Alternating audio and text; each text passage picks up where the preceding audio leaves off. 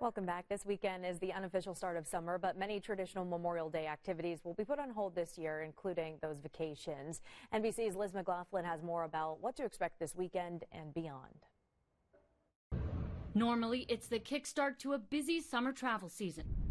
But this Memorial Day weekend may be a quiet one. We actually expect to see a record low set for travel volume.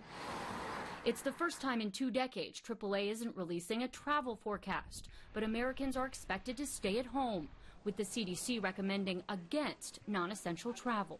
The coronavirus pandemic has totally turned the travel industry upside down. Airlines have been hit especially hard, with a 90% drop in flyers since the beginning of March.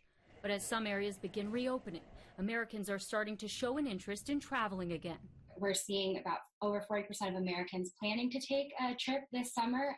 According to Hopper, users' activity on the app quadrupled in recent weeks, but experts warn to plan with caution. Hawaii, for example, requires a 14 day quarantine for visitors through June, with a possible $5,000 fine or year in prison for violators. If you're going to travel, you need to understand the rules and regulations of where you're traveling to.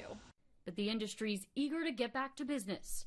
Airports preparing for summer with new social distancing and sanitation procedures. We've taken aggressive measures to get the airport ready. All major U.S. airlines now require masks, and some will start temperature checks in June. I think we will be a smarter, safer traveling public when this is all said and done. Change is almost certain to mean rising costs and airfares.